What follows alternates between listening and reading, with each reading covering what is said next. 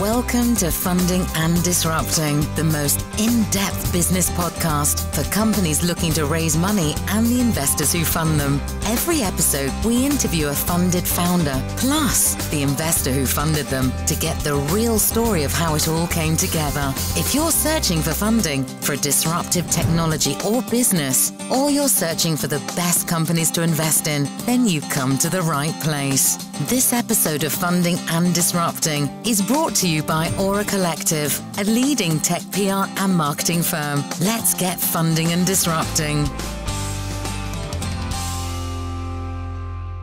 Hello, everyone. I'm your host, Keith Herman, and welcome to today's special dual interview of Funding and Disrupting. We are pleased to have Brad Yasar, the founder and CEO of EQIFI, which is a decentralized protocol for pooled lending and borrowing that decentralizes finance for everyone.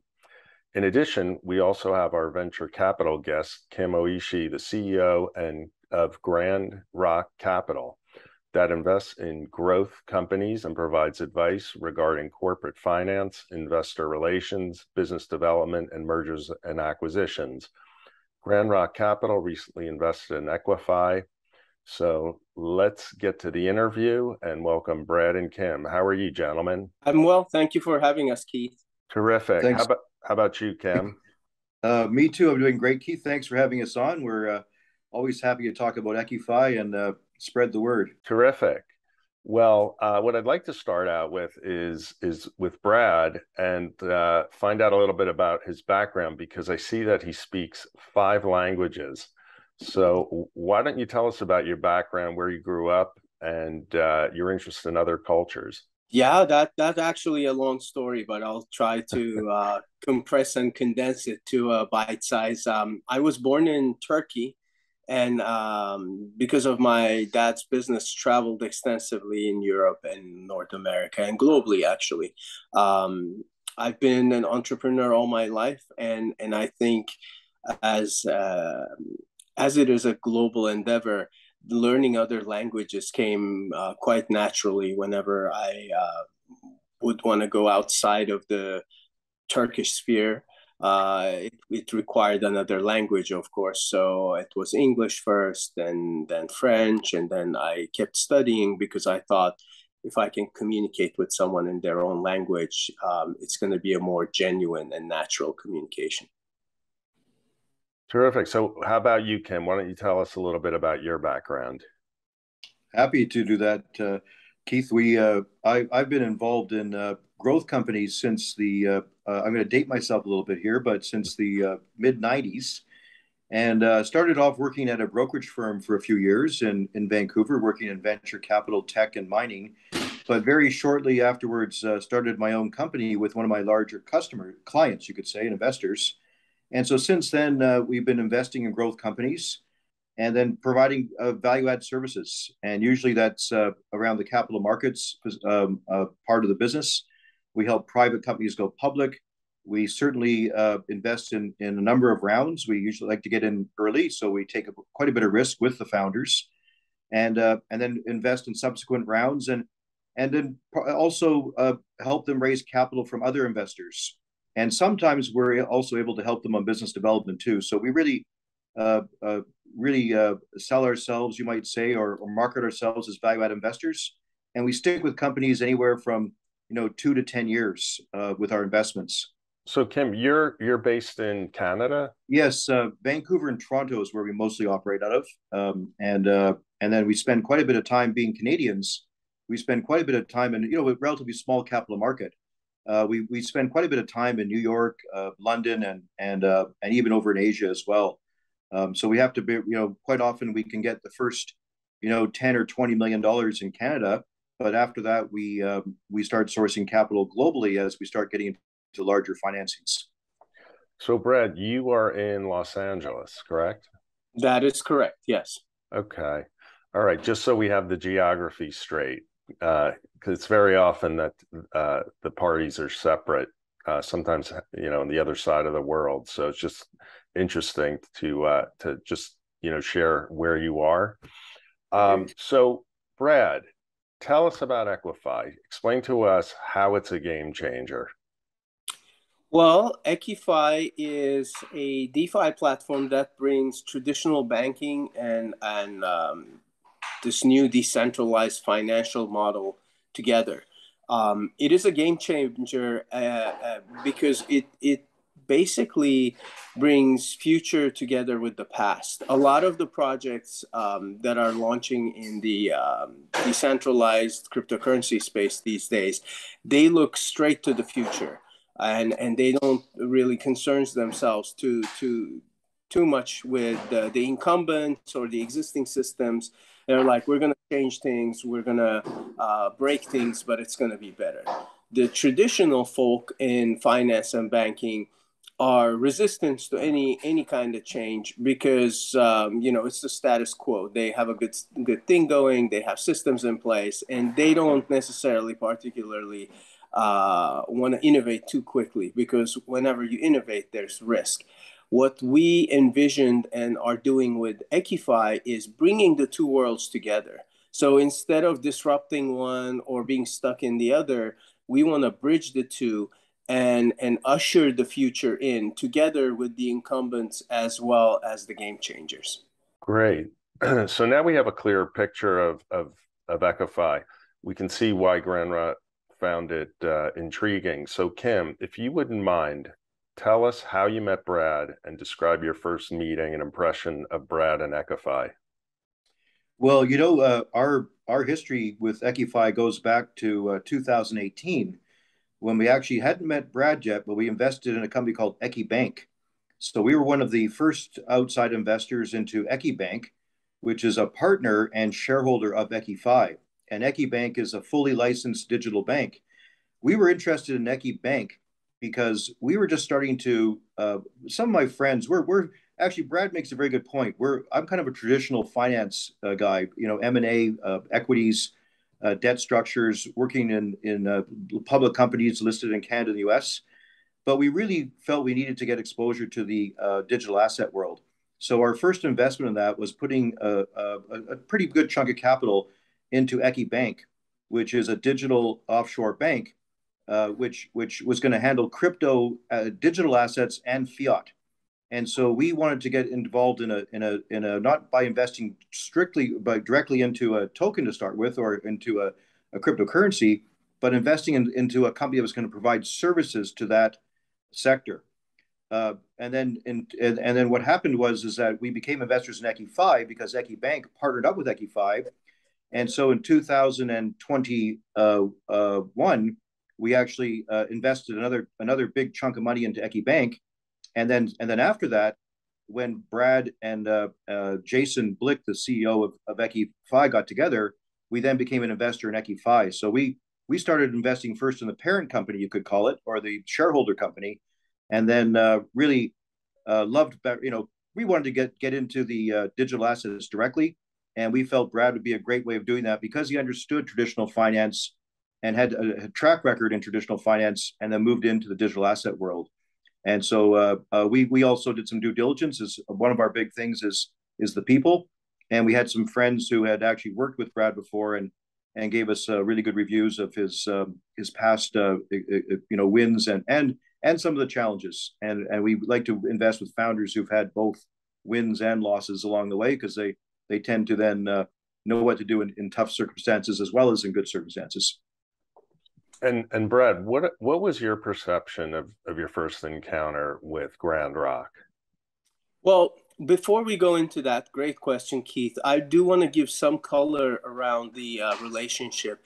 So, EQIFI is the brainchild of uh, two co-founders, uh, me and uh, my co-founder Jason Blick, who is also the CEO of Equibank. So it was a joint venture between our technology uh, resources and the banking uh, acumen that the Equibank um, team brought in, and, and it was um, it was an incredible synergy there.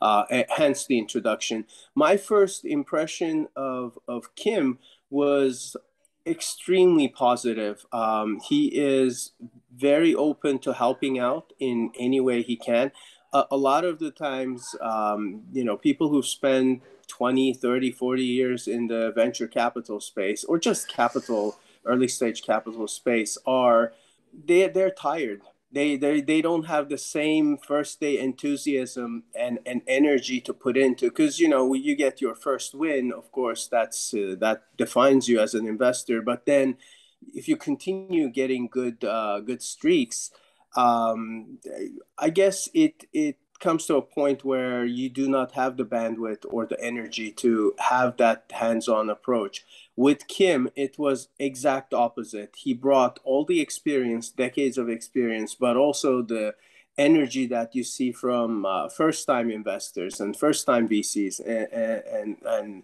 you know people who really want to roll up their sleeves and help out. And for me it was um, very exciting. When you have investors and partners like that in the project that genuinely care about your success not about how many x return they're going to get or when they're going to get their money back. Obviously all those things are important but when people genuinely care about what you're doing and are aligned with your mission vision and goals which i felt we were with grand rock it um, it creates a different type of partnership so let's hear, Kim, tell us more specifically about Grand Rock, uh, more specifically the investments um, that you're making and what it is that you look for.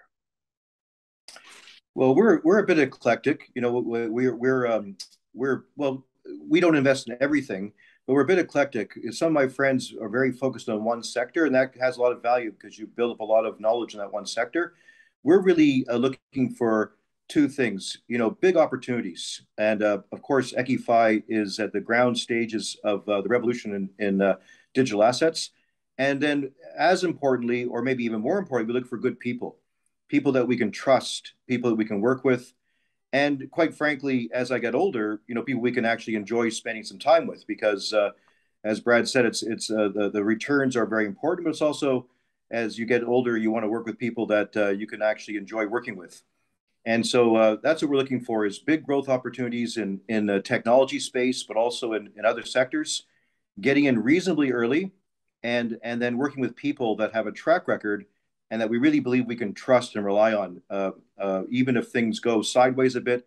Uh, th- that's when, if things are going perfectly, every, no, no, you never find out about people. But sometimes, inevitably, in a growth company, there's going to be ups and downs so we really look, uh, you know, people is the big, the big thing first, and that's where we really. Uh, Brad was giving me a compliment. I'll put it back to him. Is that he's been extremely patient with me, because I'm not that knowledgeable yet in digital assets. Now I might know a little bit more than the average person, but we're just, uh, you know, this is, was our first investment in the in the sector in digital assets, and of course we spread out a little bit since then. But Brad's been extremely patient with me and and uh, and some of my friends who are more traditional finance people and teaching us a bit about digital assets and uh, really holding our hand as we get to know the industry. And now we're in a position to help uh, him because we understand about his business. Uh, he's that, that patience, I hope, is going to pay off with some very, uh, very, um, uh, you know, successful business development opportunities that we can work on together. Brad, why don't you tell us about the financial journey of EQIFI, including what it's like to deal with venture capitalists from the very beginning to now? Well, it's been a very pleasant journey for me, which is not always the case, um, because uh, I am a um, serial entrepreneur. EQIFI is uh, my 15th business. So when I um, when I started uh, this project, we already the two co-founders uh, we seeded the company with the seed capital that was needed.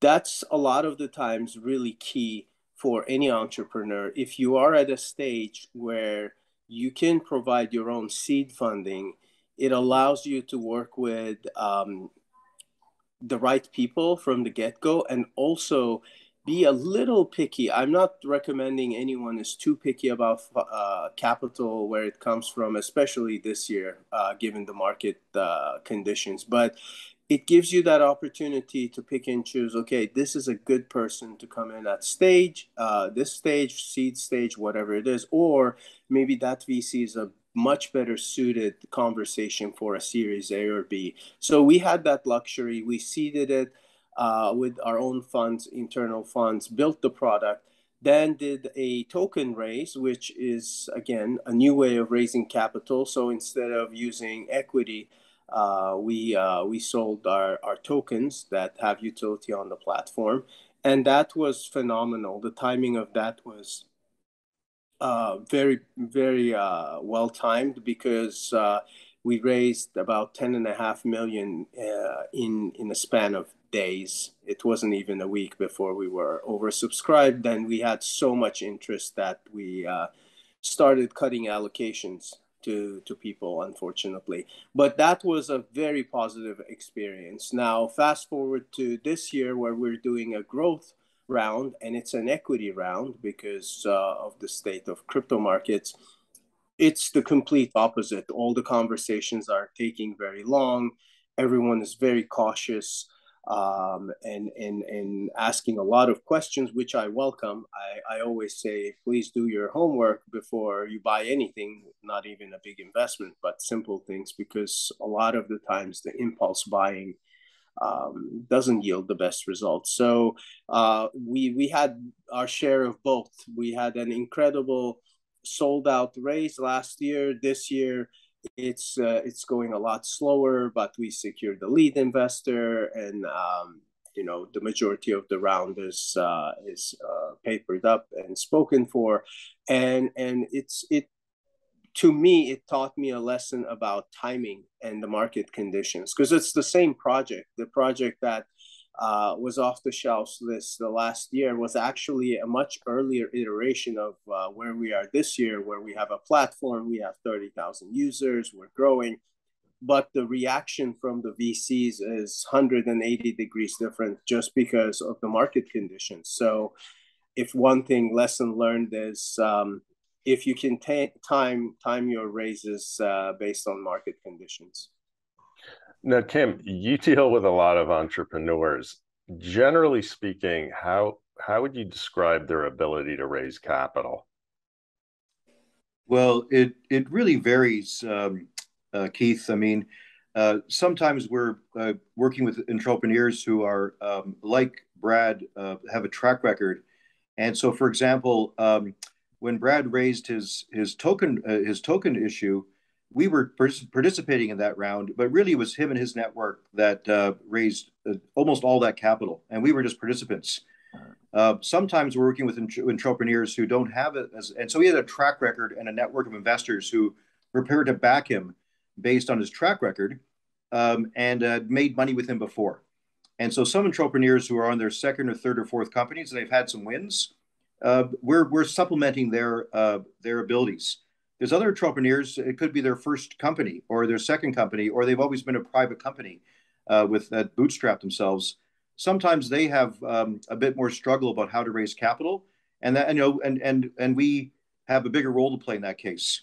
And so we might end up being 90% of the raise in that case, um, you know, with with some founders. So I have to, I'd have to say, Keith, it really varies, and and really it's it's about track records. Um, and sometimes, you know, it may be someone's first company, but it doesn't mean that they're not going to be successful. I mean, we, we all have some examples of, uh, I think Mark Zuckerberg, his first company worked out pretty good. so, uh, uh, luckily, uh, unfortunately, we didn't know him, and and if had we, uh, and hopefully we would have been smart enough to back him.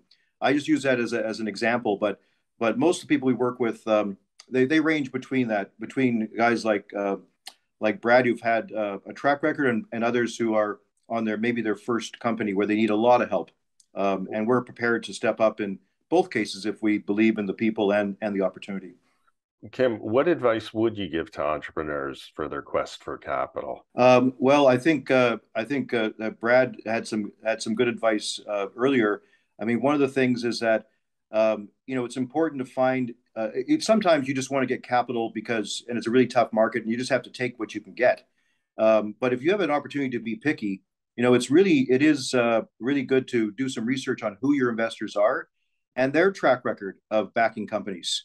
And so can you invest can you get investors who've got a track record of sticking with companies for two three four five or even 10 years and who do follow on investments and it can add some value?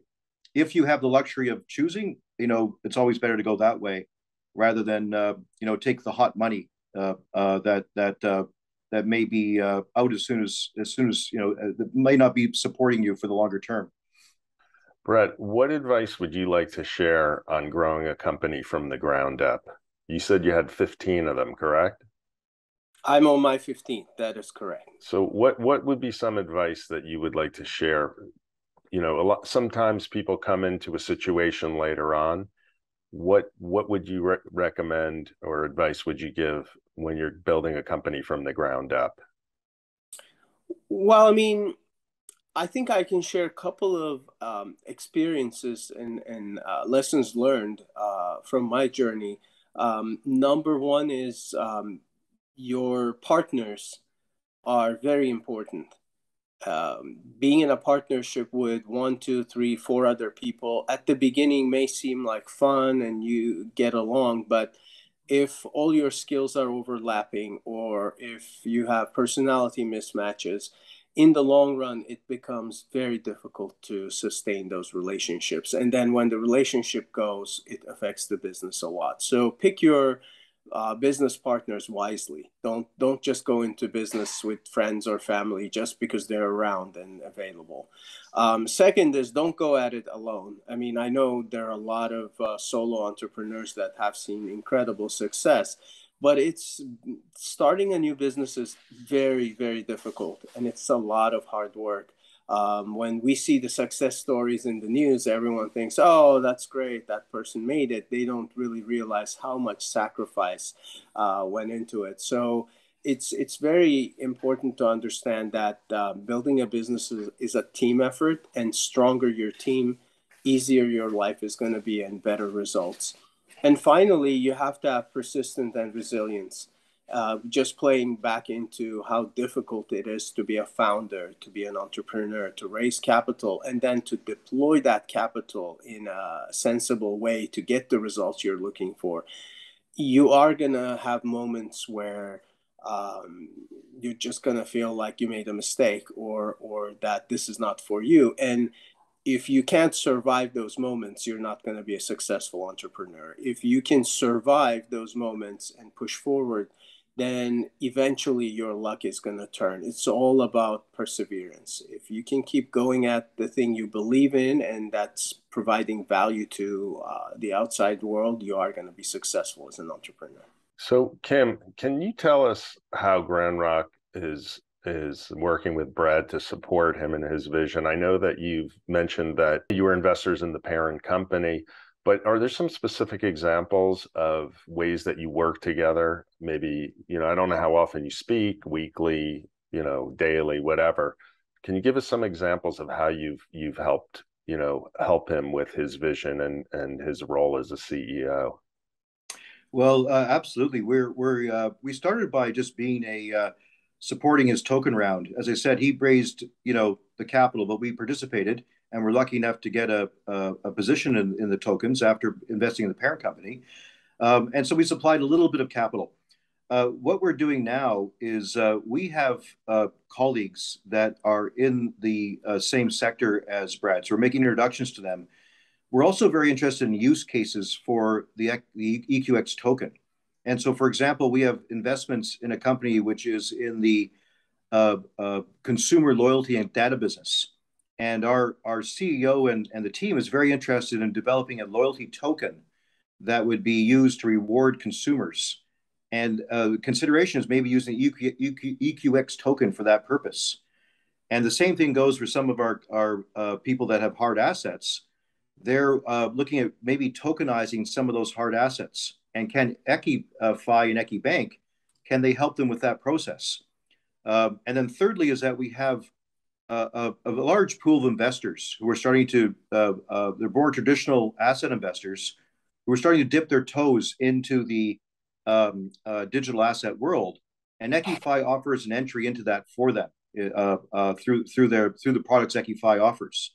And so uh, it's really, of course, we want to provide more capital, both our own and some of our partners, but we also want to help them with the business side too uh, because also our investee companies, uh, some of the companies, other companies we're invested in, uh, could benefit from the relationship, and that's part of the value add is bringing some of our portfolio companies together to work together. Yeah, it sounds like a great synergistic, uh, you know, way to help him and to help the other companies at the same time. It's a it's a great strategy. So, Brad, uh, you had mentioned that you're currently raising capital. Now, Uh, I guess you didn't raise it in a, in a day um, this time, but certainly you, you've you've made progress. Why don't you Why don't you tell us where you are at this point um, uh, with your capital raise? Sure thing, Keith. Um, it's for me. It's always one extreme or the other. It either goes the raise opens. There's so much demand that people are disappointed and upset at me afterwards and it's done or it goes for months and months and months and it's uh, it's a true grind and i'm uh, you know happy to do both. It's uh, it's a very different experience both ways. But um, yeah we uh, started a growth round at the end of march this year. Timing couldn't have been worse uh, of course because the crypto markets uh, went down and and then traditional tech markets also followed suit so it's been uh, it's been a very interesting journey for us. Um, towards the end of uh, uh, May, we found a lead investor who was interested and uh, uncorrelated from those um, markets that got hammered in Q2.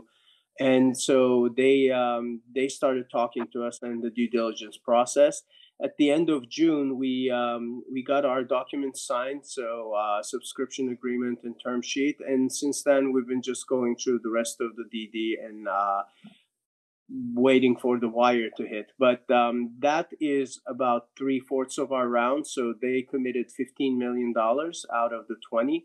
Um, we wanted to raise twenty million dollars for our growth round, just because in bear markets, the the strong, really valuable uh, businesses are are well positioned to uh, take take as much market share as as um, as they can, and that was the strategy. I I looked at the markets last year, and in October we started fair, feeling the bear sentiment take over. So I was like, if we can raise some money in the next six six months, we can really take market share. And and if not we'll survive this winter and the bear markets and um, start growing when things turn around.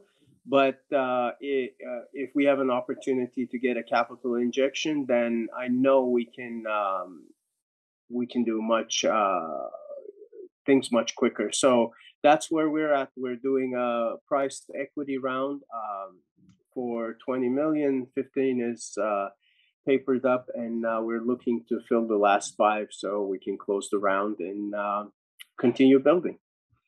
Kim, what would you say to other potential investors, you know, that have money that are making to look investments if they were interested in joining the two of you in your journey? Well, I would uh, certainly uh, welcome to join us. I think that uh, Equibank and EQIFI, the combination of a licensed bank and a decentralized platform, I think this is the only opportunity out there where you have a fully licensed bank uh, that that's the infrastructure for a decentralized finance platform, and I think that that uh, getting involved in uh, with us uh, helps you get exposure to that to that area if you're a new investor in the sector, and if you're an existing investor in the sector. Um, there's a lot of services the bank can also and EQIFI can provide to existing investors. So there's a, a, a number of our friends that are in the sector that need banking services, need need a platform, uh, a decentralized platform, and uh, and that's where EQIFI and EquiBank can combine to help you be a value where you can be a value add investor, but also get an investment in a company that can help other companies in your portfolio. Brad, this is uh, you know obviously you've dealt with a lot of people over the years. What would you say is uh, that you learned through your relationship with uh, Grand Rock? What what valuable uh, piece of, of information could you share that you've learned through your relationship?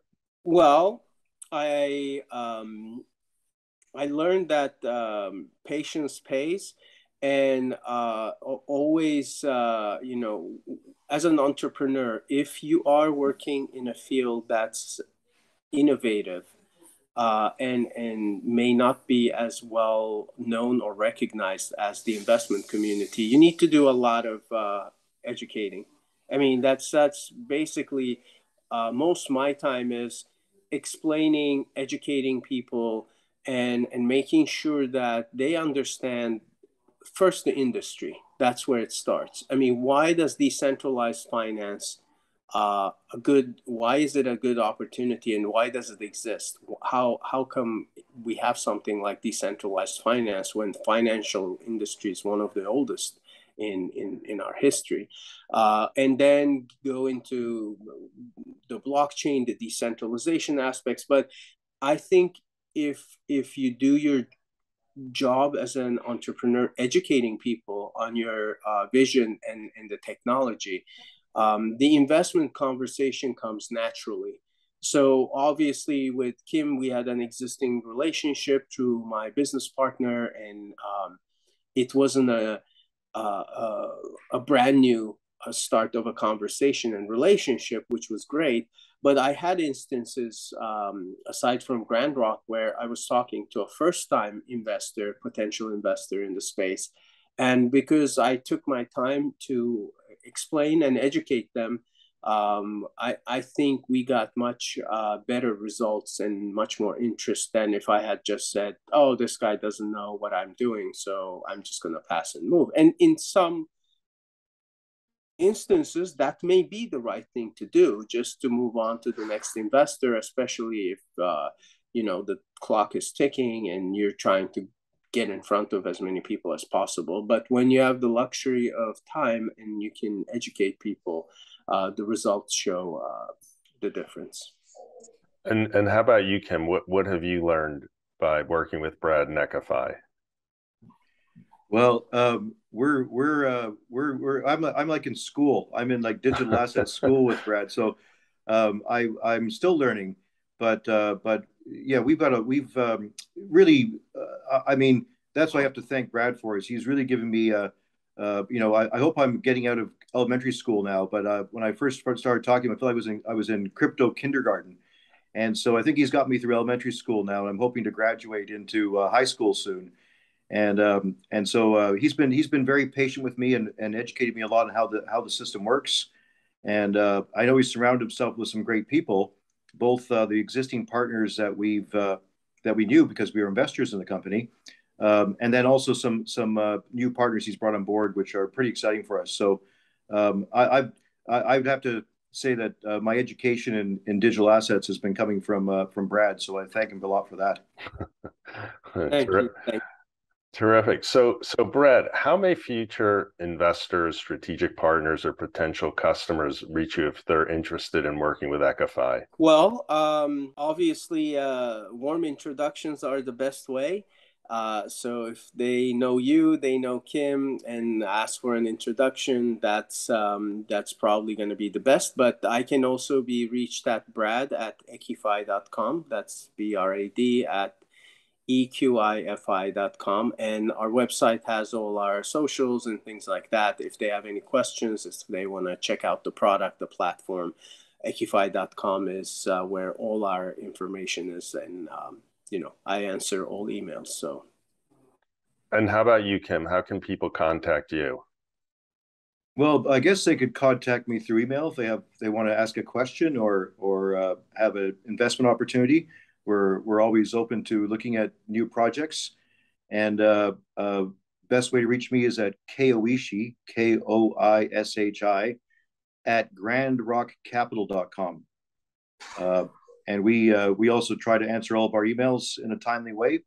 Uh, we we're we we invest in a small number of companies um, and try to be very value add. Um, so we we don't we're not a portfolio manager that has 40 or 50 investments. We tend to keep it a smaller pool of, of companies and try to really um, help the companies that we're invested in. Fantastic. Well, thank you both for sharing your story and experiences with us today. Our audience will appreciate it, and we wish you the best in your endeavors. Before we head off, is there anything else that you'd like to share? I'm good. Thank you. Thank you for having me, Keith. I appreciate it. Sure. Well, that wraps up another interview on funding and disrupting. And if you'd like to share your story, please visit us at fundingdisrupting.com and complete the interview application.